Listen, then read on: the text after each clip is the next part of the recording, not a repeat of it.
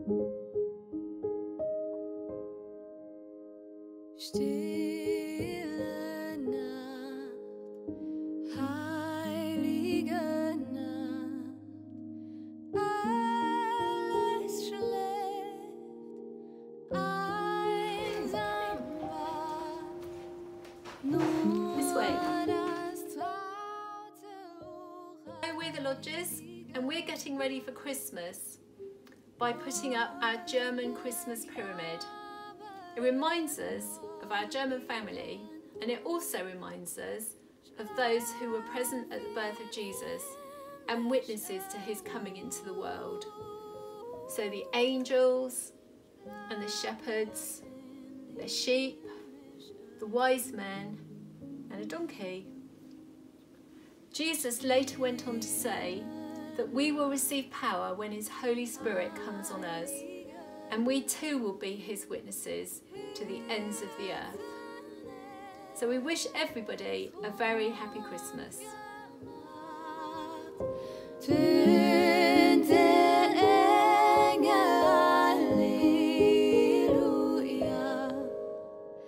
Could